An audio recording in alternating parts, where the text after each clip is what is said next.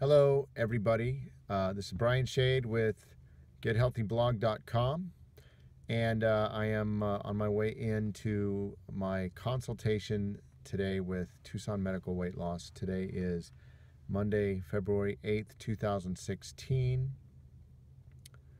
I am uh, actually this this video is uh, marking the the beginning of my phase two portion of the RM3 program through Tucson Medical Weight Loss.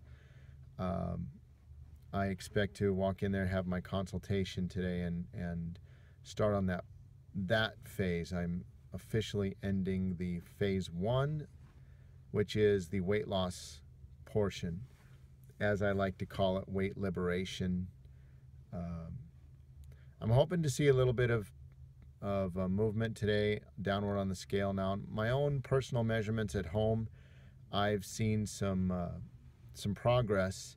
So, but I think my scale is two to three pounds uh, lower than what the official scales here at Tucson Medical Weight Loss are. So, why don't we go in, uh, follow me, and uh, let's take a look at where I'm at today. All right, here we go. Official weigh in.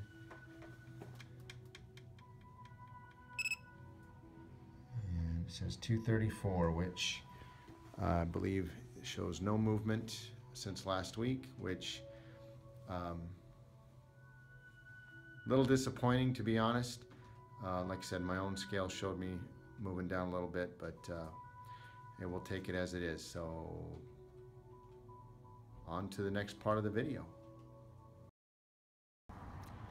All right, well, um, just a follow up, uh, close out to close out this video. I'm, uh, I, I, actually made a mistake. Um, I, in, uh, I mentioned that I that there was no movement, but actually it turns out there is. Um, my last last week's weigh-in, I was at 26.8 pounds, and this week I was at 20 my mind is so fuzzy right now. I, I didn't sleep well last night. I'm at 234 today. Last week I was at 236.8. So there's a 2.8 pound uh, loss, if you want to call it that, or a 2.8 pounds shed uh, for my overall body weight. And just to give you an idea, you know, it's really important that we don't focus on the numbers specifically so much as far as our weight goes because it fluctuates so much during the day. And just to give you an idea of how much of a fluctuation there can be, this morning um, on my personal scale at home, right after the shower, of course, I'm uh, I'm not taking into account the weight of clothes and uh, you know anything else but right after the shower, early in the morning is about 2 or 6.30 a.m., maybe 6 o'clock a.m. or so. And I was at 228.0 according to my scale, which admittedly is going to be a little off from what they have here at Tucson Medical Weight Loss. Um, so according to my home scale, when I weigh on a consistent, at a, the consistent time frame of early morning right after a shower, I was under 230.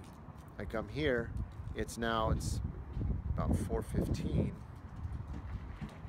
No, I take it back, it's probably closer to 5.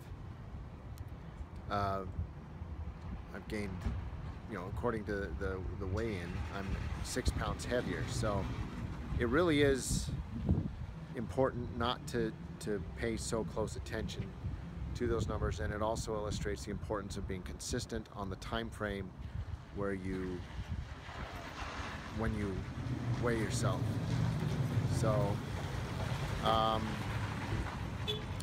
so I'm overall I'm really excited. I've moved into the second phase here. I'm actually going to finish off the rest of the RM3 tablets, and uh, then I'm going to start in on phase two.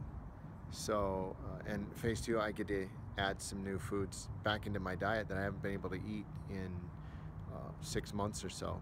So uh, one of the things I'm really excited about eating is whole eggs, uh, egg yolks and all. I'm really, really looking forward to having real breakfast food for breakfast in the morning.